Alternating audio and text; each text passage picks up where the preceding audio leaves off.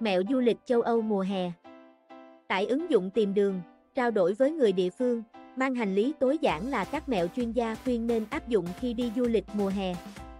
Các chuyên gia du lịch của tạp chí Connas Travel đã đưa ra một số gợi ý để du khách có chuyến đến châu Âu như ý hè này. Nói không với hành lý cồng kềnh. Một trong những trải nghiệm thú vị ở châu Âu mùa hè là đi dạo trên các con đường rải sỏi hoặc lên và thăm các đảo nhỏ.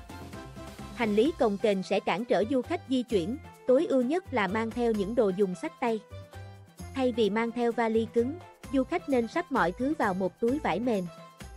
Túi có bánh xe hoặc ba lô để thuận tiện lúc di chuyển. Xếp đồ vào các túi nhỏ. Phân chia đồ trong các gói nhỏ như quần để riêng một túi, áo riêng một túi là gợi ý, việc này giúp bạn sắp đồ ngăn nắp hơn và có thể tìm được thứ mình cần nhanh nhất. Tải sẵn các ứng dụng du lịch. Có nhiều ứng dụng hữu ích cho du khách như Google Translate để nói chuyện với người địa phương, Google Maps để tìm đường và còn có thể sắp xếp những địa chỉ bạn đã lưu lại trong hành trình. Một số ứng dụng chỉ đường thân thiện với xe lăn sẽ cung cấp cho bạn các tuyến đường không có cầu thang, lối đi bộ dốc và có thang máy. Điều này hữu ích cho những du khách đi bộ nhiều, hành lý nặng. Nghỉ ngơi trong phòng chờ. Nhiều sân bay sẽ quá tải trong những ngày hè, hành khách không đủ ghế để ngồi. Để tránh đông đúc, bạn có thể mua thẻ sử dụng phòng chờ của các hãng hàng không để có thể nghỉ ngơi trong không gian yên tĩnh, thoải mái. Với thẻ này bạn cũng được phục vụ ăn uống miễn phí. Đặt trước dịch vụ đưa đón sân bay. Bắt taxi trong sân bay có thể đắt đỏ hoặc bất tiện.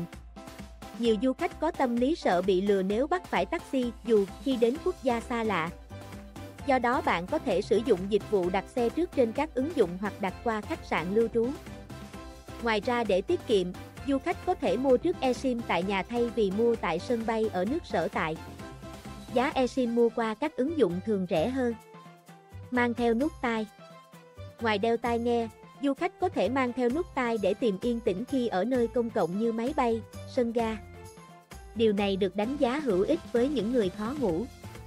Các bạn hãy đăng ký kênh để cập nhật thông tin miễn phí mới nhất.